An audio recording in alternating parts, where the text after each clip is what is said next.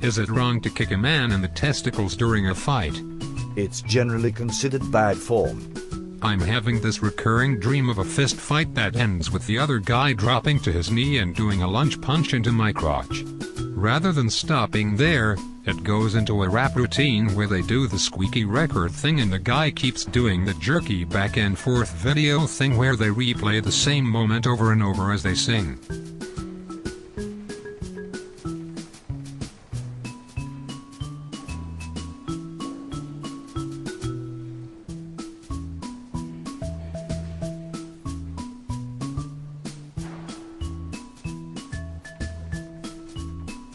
Why am I telling you this? I have no idea. Because rap music and video techniques aside, is it wrong to hoof or punch a man in the balls during a fight?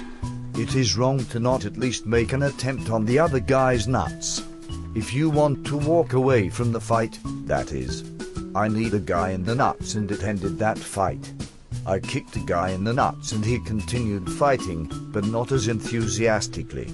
At a pool hall in LA a huge guy decided to beat me to a pulp and was well on his way to success when I seized his nutsack in my right hand. How the crap do you get in so many fights? I have been kicked in the nuts as well. Few things in life are, are more painful. I'm a pacifist. I dabbled in pacifism once. Not when I was in Vietnam, of course. Here's the question why are you fighting? I haven't the slightest idea why I'm fighting. It's a dream and the guy always shouts something, drops to a knee and does a lunge punch to my balls, and then the rap music starts. If you're being targeted for a random act of violence, I say go for the sack.